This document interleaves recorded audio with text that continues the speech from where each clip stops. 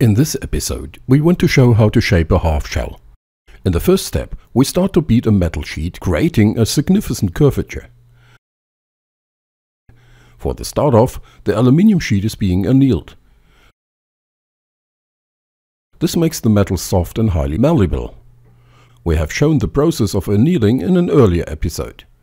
After the metal has cooled off, the edge of the plate is gradually shrinked at constant intervals. This pulls the edge up and the result is a plate-like form.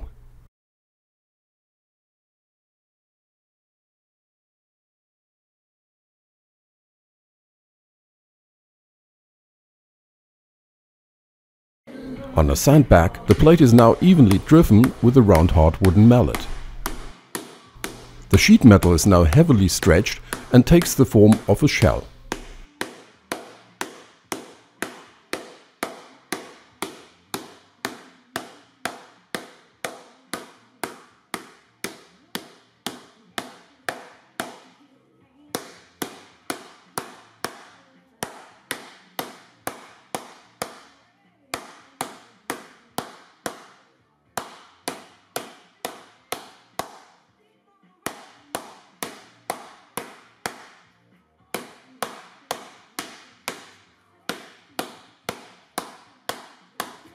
Wrinkles that are brought into the shape on the edge due to the stretching are repeatedly corrected by hand. The plate is beaten until a unique shape rises.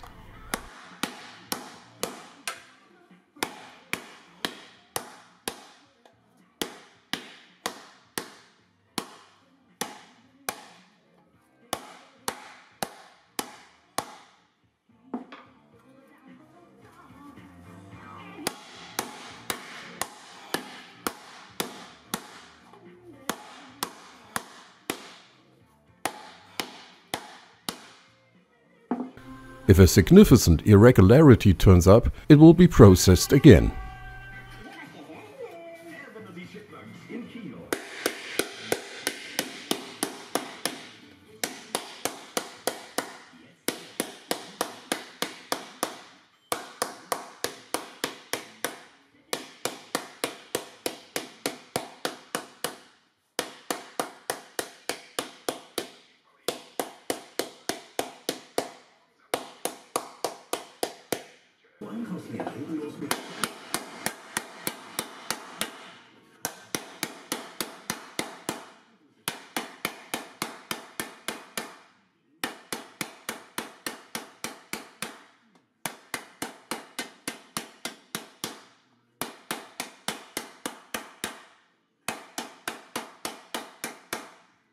Although the form looks very rough and dented, the shell can now be smoothed out either on a round anvil with a smoothing hammer or on an English wheel.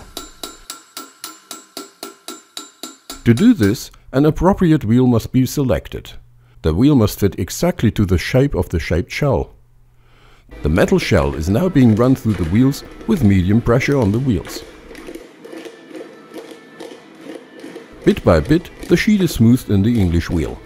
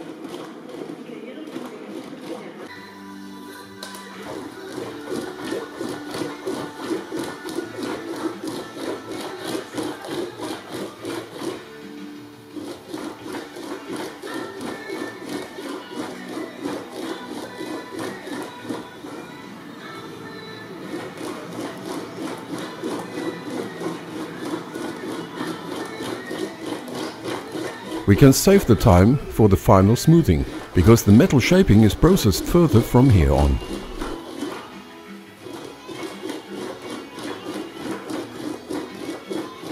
It is already a clearly curved shape, but there are still some steps up to the final product. We will show these steps in the next episode.